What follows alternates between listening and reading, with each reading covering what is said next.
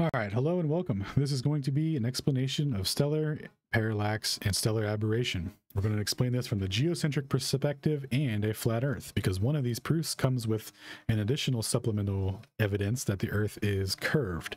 So we'll definitely take a look at that and see what we can do about that. So quick reference for everyone who's not familiar, these measurements will be taken in arc seconds. To conceptualize that, uh, think of looking at your field of view of the sky in, in 180 degrees for your field of view. And then if you could break the distance between one and two degrees into 60 second 60 sections, that would be 60 minutes of arc in between one and two degrees. And then you could break each one of those arc minutes into arc seconds, which would be 60 seconds of arc per arc minute. So you could break the distance, uh, essentially, you could break the distance down between uh, one and two degrees to one thirty six hundredth of a degree. So that's what we're dealing with. And then when we get into the more modern observations, they actually say because of satellites and due to high altitude observations with that, where there's, where there's low atmosphere, they can get even more accurate measurements where they get into the milli and micro arcs, which is one three uh, one three million six hundred thousandths of a degree and one three billionth six hundred millionth of a degree, respectively. Now, um, these are more like digitalizations of accuracy and precision and all that. So who knows um, when we get to this level of it, but we'll go over the basics here. So when you Google stellar parallax, you get all these nice crisp triangles here. You get a you get a you get an Earth here. You get a sun here. You get start your observation here. You got a star there, and then six months later, the Earth has traveled uh, 186 million miles and then you take your second observation and you realize that in reference to background stars, there's a little displacement angle. And they say that this is only due to Earth's motion. Well, luckily we're dealing with triangles and that can't in using triangles using these observations you can't disprove the heliocentric position either way there, our position would be that the sky is in motion and the movement of the stars is what's producing the angle displacement. And like I said, because these are triangles, there is no way to falsify this using the uh, small, near, and far angles. So good luck fighting a triangle.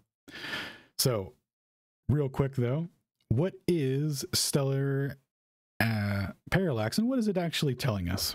Well, we have stars out here. We have we have stars that apparent that appear to be fixed and we have a slight displacement over time. So they've extrapolated that using parallax, which is a real thing that you could do to make uh, distance approximations to things, and then you could measure those distances and you know figure out how good your approximation was. Because that's the thing, right? Um, parallax is a real phenomenon. You can use it to make measurements. You can use it to make estimations, and based off of the baseline of the angle and how far away and what you're looking at is, um, you know, determines the usefulness and the accuracy of parallax and how you're using it. So the way that they're using it here from these diagrams, it looks very um, looks very reasonable, right? But what's actually happening is that this the distance between the sun and the Earth of a hunt that they say is 93 million miles, and then over the course of six months, uh, where the observations where the sun is or the Earth has traveled, you know, around to the other side of the sun will be uh, uh, 300 million kilometers or 186 million miles and they that they say that with with 186 million mile baseline they can get parallax angles all the way out to trillions quadrillions quadbillions sextillions of of uh of a degree right or I'm sorry, of a of a distance based off of these ang- angles that converge at infinity. So again, we're looking at angles that look like this, but what's actually happening is we have two parallel lines that converge at infinity. Just trust us. All right. So again, not mutually exclusive to a heliocentric or geocentric, this observation. Now, real quick in terms of parallax, parallax should be going in one direction, the meaning that the that the star should be moving in the same direction because if the earth is the causal mechanism of the displacement as it's going around the sun has to be going in one direction. Now um, this is a paper from let me see i forget the year. Let me see if i can pull it up real quick. Um dearborn. Real quick. Dearborn no. All right well anyway what's going on? I don't remember the exact year. This is the early 1900s. What's going on here is that uh, astronomers were making observations that they were recording their parallax observations and they found that there was negative parallax now there can't be negative parallax because that would mean that the earth isn't the causal mechanism the earth's motion through space isn't the causal mechanism for the displacement so the astronomers were like hey what do we do with these negative parallaxes and then we have the guide on what to do with that from sir frank dyson watson who did the um, who did their probability fixes for everything. He was a real math wizard. So what he say what he says here says in the case of real parallax, it is given for the star of the small error. I'm sorry, determine the value of parallax may have an error which falls on the negative side, and we can just use um, his mathematical formula to determine that the parallax angle is absolutely fine, and there's nothing nothing uh, dubious or you know nothing wrong going on with the model here. And then we have when it's double the uh, uh, uh, when there's two stars because of their because they're close together they're going to have an irregular orbit or whatever. So they're saying that it's going to be faster because they're gravitational attraction. So it's just an error in the photography. So you can go ahead and count that as a posi. And then for the third they say okay well those background stars that we're referencing that are fixed right these fixed stars that we're referencing the displacement from well, maybe those just moved. Okay. So your re- maybe your reference moved. All right. Well, if that's the case, then you know, GG, you played yourself, player. But let's go ahead and okay, let's go ahead and continue on to the better proof, in my opinion, for heliocentrism. Now they say that because these stars are so far away and their light rays come in parallel and that the earth is going around the sun that there's an aberration to them that there's an aberration to the starlight. So we'll get into what that means here in a second. But this is a conceptualization of what they're what they're putting forward. And then we'll look here and we'll go back to 1727 where james bradley uh, took his observations um, of the star draconis lambda or something like that i think it was over uh, somewhere in London. And what he what he had set up was this telescope was angled at like 90 degrees, and then he he found that he had to tilt it slightly to keep the starlight in the center of the telescope. And over the course of a year, when you plot that out, the amount that he would have had to tilt it comes out to 20 arc seconds. So what they're saying is that there's an aberration of starlight that traces out for, to 20 arc seconds in the sky and that it's relative to the latitude meaning that if you were at the north pole the arc in, in the sky would trace out to be a, like a perfect circle. And then at, and then at the 45th latitude right around london where he was taking his observations you would get um, more of an ellipse. And then around florida south uh, south america etc you would get a more pronounced ellipse, and then at the equator, you would get a straight up line.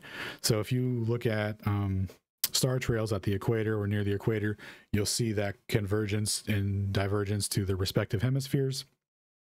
And then you'll see that straight line towards the middle. So you can kind of conceptualize it that way. It's pretty much exactly what he's putting forward. And he's saying that over the course of a year that there's minor displacement. And when you ratio that angle against the speed of light, you get 30 kilometers a second. So this was the best evidence put forward for heliocentrism because the Earth, if this model is true, the Earth moving around the sun, it has to be moving at 30 kilometers a second. So this is a good ratio for them. Unfortunately for them, and this was recognized at the time, especially by your boy Wilhelm Wellman here in 1898, where he goes over 10 failed experiments to prove Earth's motion and um, the only positive one that he put forward was this ratio for stellar aberration. But he notes in there that this is kinematics. It's not, you know, an actual proof because there's no independent, there's no experiment, right? There's no independent dependent variable. So in kinematics, you make a measurement, and then based off of that measurement, you make prediction, you make future predictions of motion with no assertions of causal mechanisms or dynamic forces or anything like that. So what this means is this this uh, measurement cannot tell us if the earth is in motion or if the sky is in motion or if there's a medium in between us that's in motion uh, translated from the rotation of the sky that's causing a slight drag that causes the aberration um, so to figure this out we'll have to introduce some independent variables and do some experimenting here, which we'll get to in a second. But quickly, let's run down the flat earth explanation and geocentric explanations for this. So geocentric explanation, right, for the globularist, they would say that their a potential explanation they could give is that the star field rotates every night and to complete that rotation you know it's happening very fast and that creates a slight aberration over the course of a year which is what's producing this you could also say that the that the earth or i mean sorry that the sky is translating its motion down to earth and the ether wind that's translating that motion there's a fresnel drag and that's causing the that apparent drift in the starlight to make the aberration.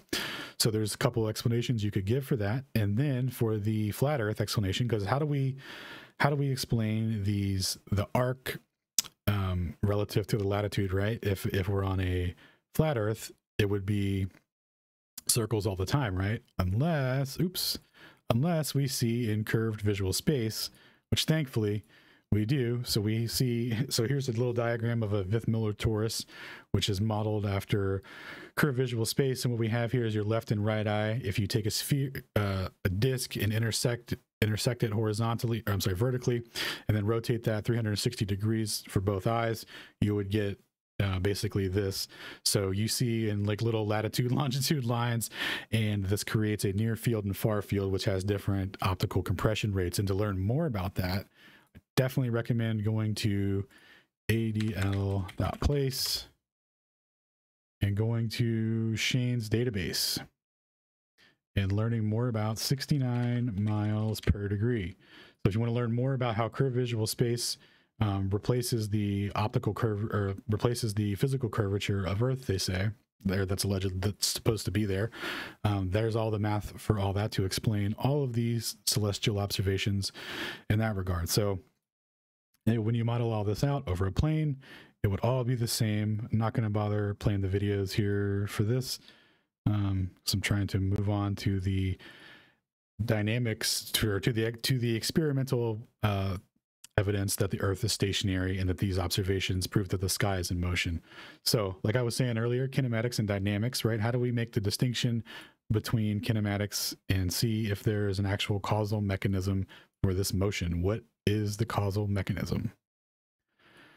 So we have Airy's failure in 1872.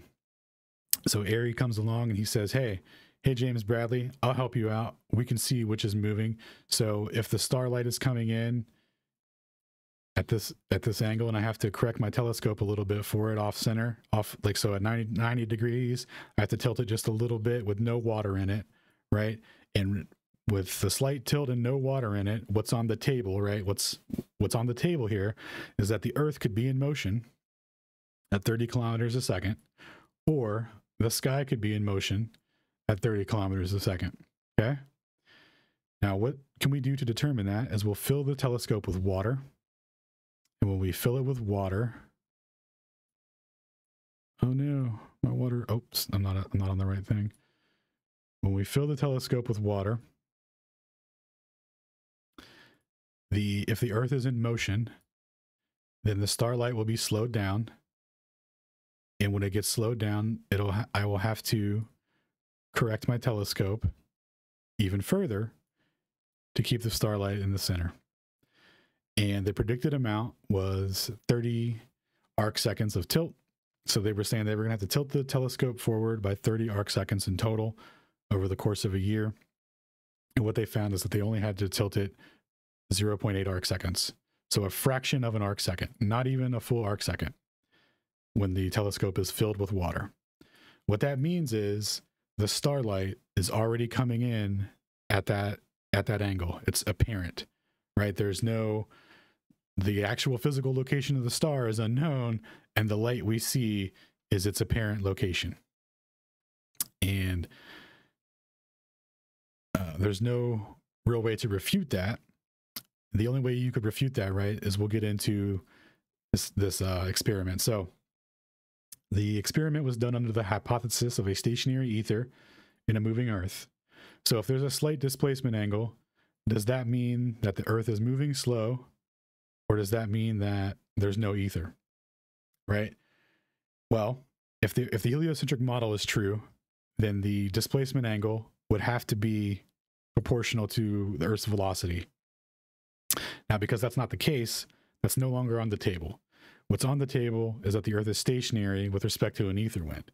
So they say that their position of a stationary ether in a moving Earth is untenable. And they say that, um, well, they later go on to explain the experiment by saying, okay, well, we'll get into what Michelson, uh, like why this experiment is so important, right? Why this matters. Because it didn't falsify the ether, it falsified the Earth's motion. And here's why.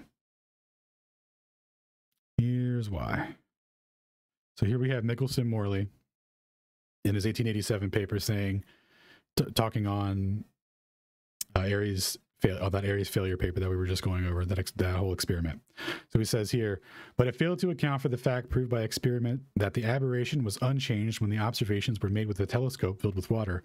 For if, the ta- for if the tangent of the aberration is the ratio of the velocity of Earth to the velocity of light, since the latter velocity in the water is three fourths its velocity in a vacuum, then the aberration observed with water in the telescope would, should be four thirds its true value with a little asterisk here.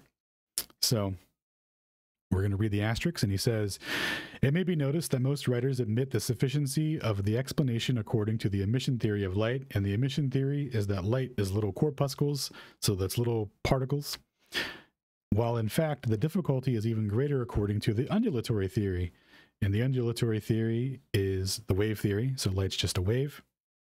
And it says, for the emission theory, the velocity of light must be greater in the telescope in the water telescope, and therefore the angle of aberration should be less. Hence, in order to reduce it to its true value, we must make the absurd hypothesis that the motion of the water in the telescope carries the light in the opposite direction. So, for the emission lads, or and in modern times for the dual particle quantized light particle um, lads, you would have to say that when this when the water hits the teles or when the uh, starlight hits the telescope, it goes faster. It's traveling. It's traveling its normal speed, normal speed, normal speed, and then boom, it travels faster to get down here. It has to accelerate. Now this violates the conservation their conservation laws regarding how light works. This shouldn't that can't happen because then and then it slows. So then so it, it speeds up to keep its proportional speed in here, and then when it gets out, it slows down back to its regular speed. That's not that's obviously not what happens. And then for the wave lads, now remember this is taken with a stationary ether hypothesis, right? So stationary ether out here, stationary ether inside the telescope. But but because this experiment didn't go the way they wanted, they say that the stationary ether out here is different th- than the ether inside of the telescope. The ether inside of the telescope is moving and it's carrying the water in the or it's, it's the uh, the ether in the telescope is carrying the starlight in the opposite direction of motion. And that's noted from Michelson, Albert Michelson, saying that's an absurd hypothesis. So that's unfortunate for the heliocentrists that believe that the Earth is in motion. And that's great for the stationary Earth lads and for the lads that believe in, in ether or that adopt the ether model. You can explain it the observations directly, right? Electromagnetic propagation has a medium and it's in and it's in motion with the sky and that's causing a drift. And that's it. Very straightforward. Um, all right, I hope that covers everything and I hope everyone gets a chance to read these papers, especially Michelson Morley and Fizeau and where's the other one? Airy's failure because the only explanation that the offered by the relativist and heliocentrist is to gaslight you. So when you have the knowledge, you can stand on it and not get gaslit.